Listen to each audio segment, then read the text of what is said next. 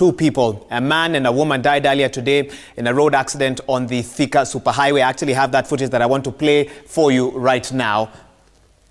Now, according to the police, both Dorothy Migarusha, the accident occurred after a private car carrying a man and a woman heading to Thika rammed a truck. The car is said to have veered off the road and burst into flames, bursting, uh, burning rather, its occupants beyond recognition.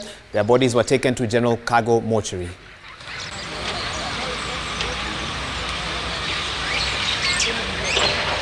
Kufikia sasa hatujaweza kutambua ni akina nani, na tumetoa mwili yao tumepeleka General Cargo Hospital mochari ikongojea uchunguzi zaidi.